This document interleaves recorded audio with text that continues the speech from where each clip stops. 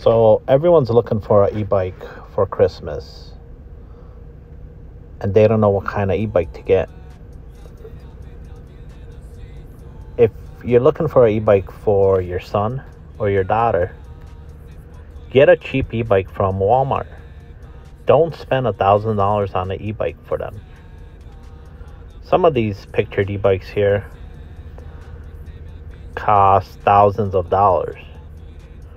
Now, any e-bike is a good e-bike. Remember that before we go any further than this.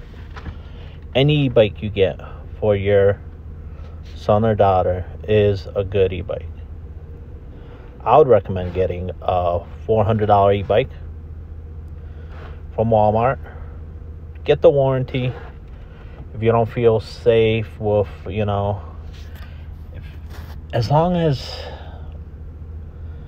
if you're kind of scared of, you know, cheaper bikes, I would get the warranty just to protect you, you know. Um,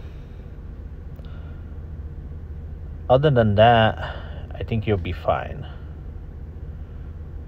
Now, if you're looking for a bike uh, for your first e-bike, my first e-bike cost $900.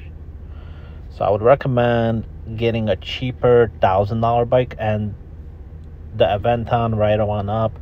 There's bikes in that price range. If you want to spend a little bit less, Walmart's your go-to. I would recommend going on Walmart.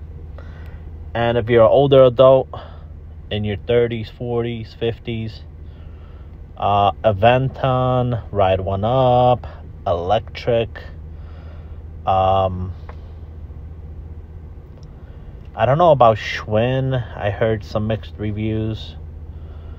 But the first three I mentioned are all great. And if you're looking for like a motorcycle bike, there are a lot of like moped style bikes. Uh, I think the big one is uh, Sur-Ron.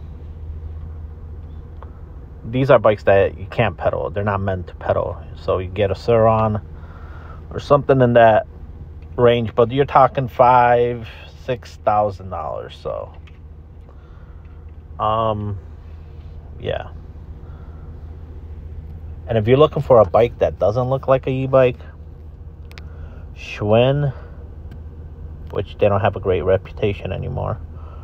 They got a nice looking bike, but Ride One Up has a gravel bike and a street bike that has a hidden battery. Really nice, really nice. Um, I think the other ones too, but they look a little bit more bulkier. So yeah, just do your research. Hopefully this helped you out a little bit.